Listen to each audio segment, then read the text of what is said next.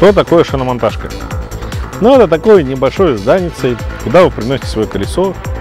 Там стоит один станок, на котором разбортовывается колесо. Там стоит второй станок, на котором колесо балансируется. Не всегда в такой шиномонтажке работают специалисты. Иногда могут и порвать и обод, и все остальное. Что такое фирма «Два колеса»? Ну, это 16-летний, может быть, даже больше опыт работы. Сегодня и сейчас это шиномонтаж любых типов колес, и грузовой в том числе. Это ремонт любых покрышек.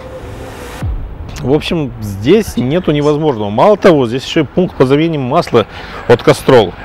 Естественно, надо полагать, что здесь работает не один, не два, не три человека. И вот сегодня, сейчас сюда приглашаются хорошие специалисты, опытные. Хотя, если у молодого человека есть большое желание заработать не меньше, чем столевар, он сюда придет, научится, будет благодарным работником, ну и высокооплачиваемым в том числе. Да, есть в городе потребность в умелых ручках. В ручках замороженных в холодных сервисах, в светлых и понятливых головах потребность тоже есть. Кстати, из опыта общения. Продавцы автомобильной резины, но у меня лично больше симпатий вызывают, чем камевояджеры и сетевые напариватели. Здесь речь о безопасности вообще-то идет. И об экономии ваших средств. Два колеса это вообще-то честная фирма. Если что. И работать здесь престижно. И продавать авторезину, и заниматься шиномонтажом тоже. Вернувшись к авторезине, заметим. Только здесь, по сути, и есть раскрученный и правильный ассортимент грузовой, новой резины.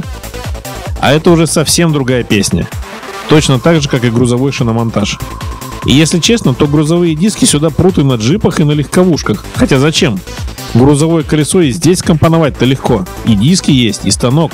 И на этом оборудовании тоже интересно работать. Как и заваривать катастрофические для другого сервиса, но не для двух колес пробоины. Конечно, самое сладкое время – это сезон переобувки. Но и каждый день здесь сидеть без дела, а значит и без денег не получается. Еще раз заметим, это стратегически важное дачно-комбинатовское направление.